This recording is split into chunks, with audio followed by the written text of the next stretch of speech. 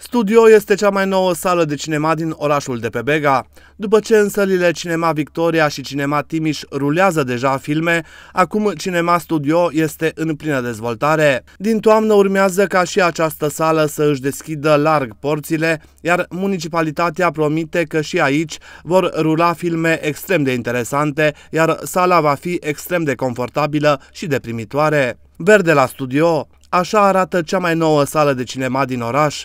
După violet la Victoria și roșu la Timiș, din toamnă încercăm noile scaune verzi la filme faine la studio. Până atunci urmează o vară cu un super program la Cinema Victoria Timișoara și Cinema Timiș. Stați cu ochii pe ele. Transmite primarul Timișoarei, Dominic Fritz.